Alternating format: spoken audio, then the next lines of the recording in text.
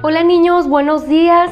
En esta mañana los saludo con mucho gusto y el tema del día de hoy es el discurso directo y el uso del guion largo. Pero vamos a irnos por partes. Vamos a ver primero qué es el discurso directo. Vamos a ver a qué se refiere con discurso directo. Bueno, pues el discurso directo, vamos por acá al pintarrón. Aquí ya tengo unos puntos para que se vayan guiando. ¿Qué es el discurso directo? Bueno, es una manera de conversación verbal o escrita. Punto número uno. ¿Qué significa esto? Es una manera de conversación. O dicho de otra forma, es una plática entre dos o más personas. Bueno, dice aquí, es una plática verbal o escrita, es decir, puede ser hablada, ¿sí? Puede ser un diálogo hablado o puede que esté escrito. ¿Va? Bueno, vamos por el número dos. Dice, se comunican dos o más personas en un intercambio de información.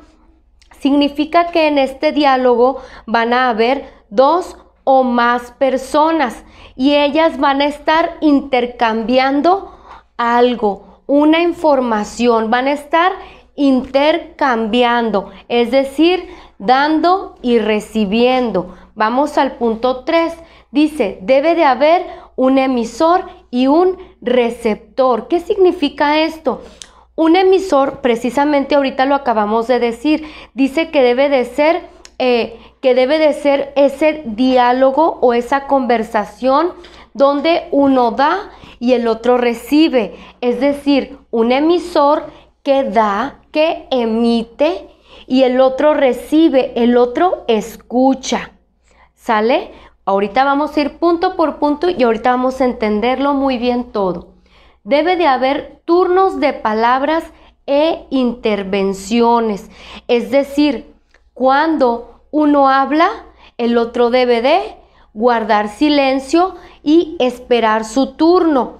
Así debe de ser este intercambio de palabras, donde van a estar dos o más personas y debe de haber eh, un emisor y un receptor, que es la persona que da, que habla, el que emite, el emisor y el receptor, el que recibe, el que escucha lo que el emisor habla. Muy bien, ok. Entonces, el discurso es una conversación entre dos o más personas, en la cual debe de ser ordenada, debe de, haber una persona que hable, la otra que escuche y debe de haber un fluir correcto de palabras. No es como un monólogo, que por ejemplo un monólogo uno habla y los demás simplemente escuchan y nunca deja de hablar.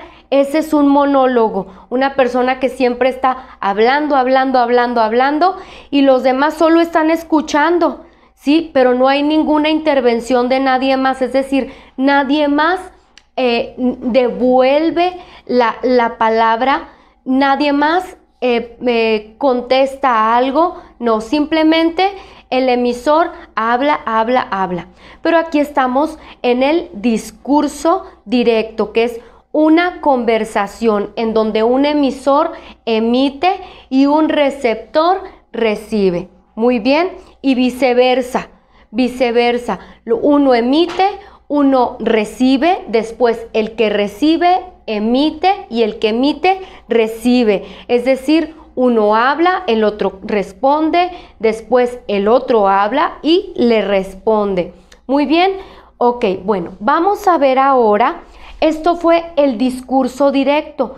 Otra cosa muy importante que no se nos debe de olvidar es que en un discurso directo o en una conversación o un diálogo entre dos o más personas, siempre debe de estar ahí la persona presente, ¿sí?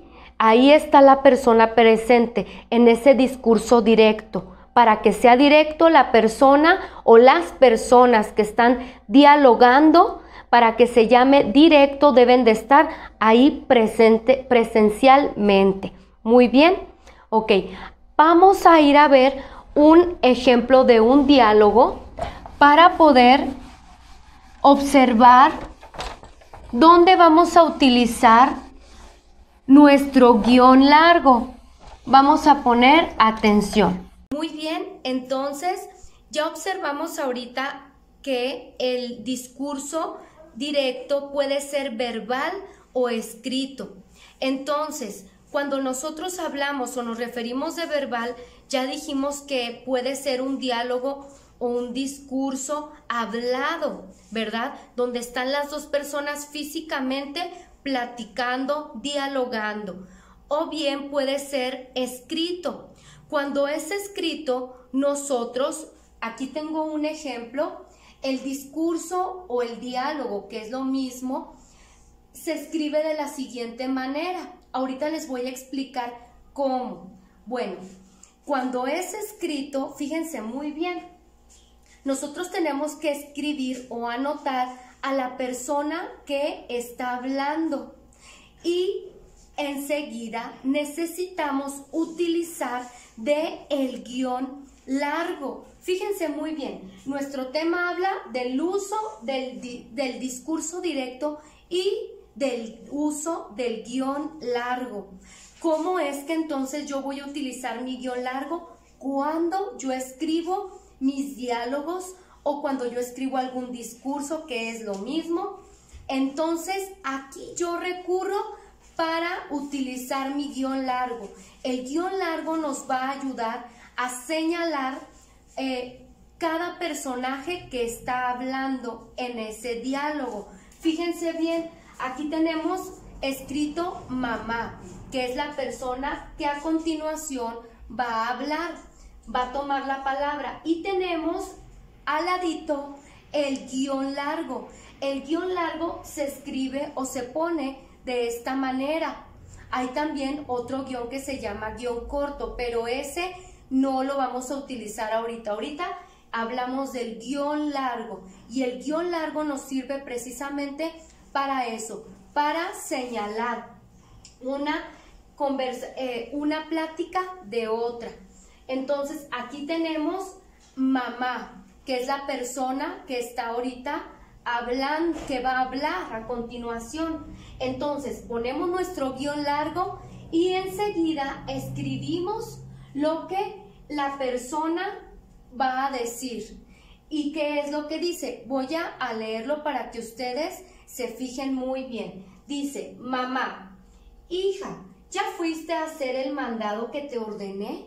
Después, aquí la hija, está escrito, miren, hija, la hija, y está aquí el uso del guion largo, porque acuérdense que es quien nos va a apoyar para señalar la intervención de cada personaje. ¿Sí? Responde, no mamá, ya voy. Mamá, nuevamente y nuevamente escribimos el guion largo. Por favor, no te tardes porque necesito la plancha. Y la hija responde, hija, largo. Sí, mamá, está bien. Entonces, aquí podemos observar un discurso fluido o un diálogo fluido en donde hay un emisor, un receptor y esta conversación que nada más es entre dos personas es ordenada porque uno habla, el otro escucha y luego uno habla y el otro responde. Entonces, a esto le llamamos el discurso directo y ya observamos cómo es que se utiliza el guion largo. Muy bien, mis niños, entonces esto ha sido todo por hoy. Yo me despido y les deseo un excelente día.